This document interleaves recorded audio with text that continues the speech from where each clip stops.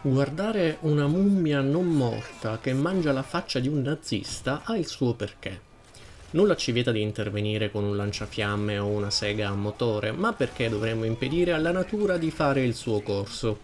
Guns Goren Cannoli 2 è praticamente un inno al casinismo, un incrocio tra il gameplay classico dei vari Metal Slug e il macismo in stile Duke Nukem. Proprio il caro Duke mi è passato più volte per la mente durante le mie sessioni di gioco con questo prodotto.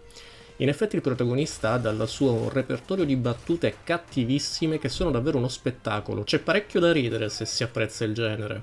Ma addentriamoci un po' nella nostra recensione e scopriamo effettivamente di che pasta sia fatto questo gioco. Siamo nel 1944, un periodo non proprio esaltante per la storia dell'umanità. Controlleremo di nuovo Vinny Cannoli, invecchiato di 15 anni ma ancora agile, arrabbiato e pronto a impallinare tutto ciò che si muove con qualsiasi arma possa trovarsi sotto mano. Guns Goren Cannoli 2 è strutturato a livelli e condivide con il predecessore una longevità piuttosto bassa. Ho completato l'avventura sul normale in circa 5 ore, un po' più del primo capitolo ma in assoluto non tantissimo. Il gioco viene comunque venduto a 13 euro e la qualità generale dell'esperienza è molto buona. Non mi sento quindi di criticare troppo la durata della storia, preferisco contenuti di qualità piuttosto che riempitivi che rischiano di annoiare.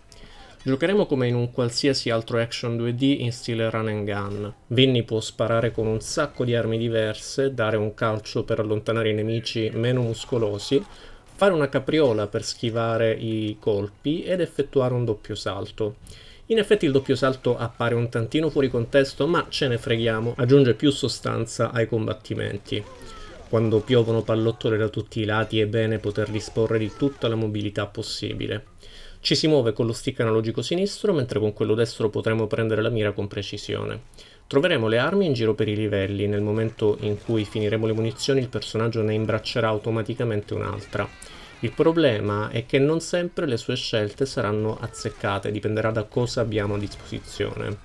È possibile passare al volo all'arma successiva alla pressione di un tasto, alternativamente potremo accedere a una ruota di selezione che però non mette il gioco in pausa. Un dettaglio non di poco conto questo, dato che spesso vorremmo scegliere l'arma migliore in base al nemico affrontato. Ci sono avversari corazzati che è meglio affrontare con un fucile a pompa, mezzi pesanti che sarebbe saggio attaccare con un lanciamissili, creature particolarmente suscettibili al fuoco di un lanciafiamme. Fin troppo spesso ci ritroveremo a combattere con quello che capita proprio perché trovare l'arma giusta non è immediato né troppo agevole. Sarebbe stato sufficiente mettere il gioco in pausa durante la schermata di selezione, oppure aggiungere un paio di scorciatoie in modo da non includere per forza l'intero armamentario. È una mancanza che si farà sentire in particolare durante alcuni scontri più impegnativi. Fin dal primo livello sarà chiaro che gli sviluppatori abbiano voluto garantire varietà negli avversari. Incontreremo sul nostro cammino membri della mafia, sicari che cercheranno di farci la pelle armati di pistole e fucili automatici. Ci saranno però anche dei semplici buttafuori, energumeni armati di una mazza da baseball o di una sedia da sbatterci sul cranio. Non mancheranno membri della polizia, ben corazzati, protetti da scudi ed elmetti. Messa da parte la malavita, c'è spazio anche per l'esercito tedesco della seconda guerra mondiale con le sue armi automatiche. E ovviamente non possono mancare gli zombie del primo episodio, non morti in tutte le salse. Dalle infermiere alle mummie, agli ex militari che ancora ricordano come si fa il saluto. E topi giganti. C'era spazio anche per i topi giganti.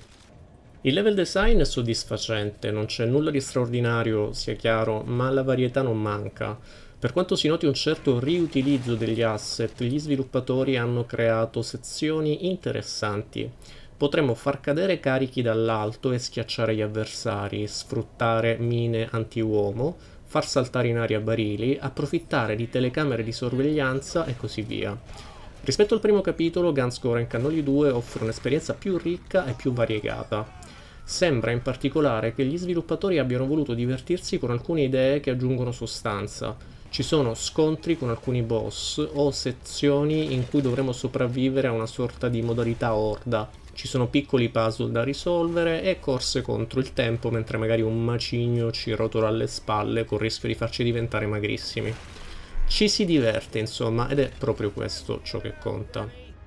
La grafica segue da vicino lo stile del predecessore, presentandosi ricchissima e davvero molto gradevole alla vista. È un 2D di ottima qualità che punta a contrasti forti e tinte prevalentemente scure. L'azione a schermo è molto fluida con tante esplosioni, animazioni di qualità e un caos generale che sottolinea il ritmo incalzante del gioco stesso. Eccellente la colonna sonora che si appoggia su pezzi di vario genere e di tutte le epoche si spazia dalla musica degli anni 40 al rock, tra riarrangiamenti e cover che rimangono impresse. Queste spezzano parecchio con ciò che succede a schermo, creando dei contrasti molto forti, una tecnica spesso utilizzata anche nel mondo del cinema. Guns Gore Cannoli 2 è un ottimo seguito che migliora quasi in tutti i campi i risultati del già solido predecessore.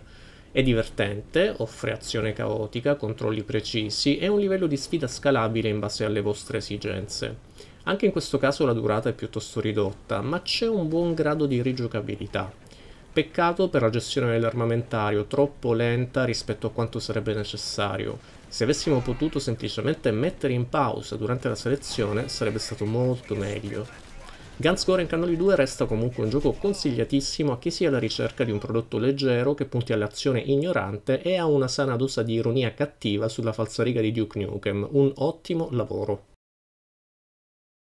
Ok ragazzi per questo video è tutto, come al solito vi invito a iscrivervi al canale e a lasciare un like se il contenuto è stato di vostro gradimento, se non vi è piaciuto lasciate un pollice in giù e commentate con le vostre critiche, alla prossima.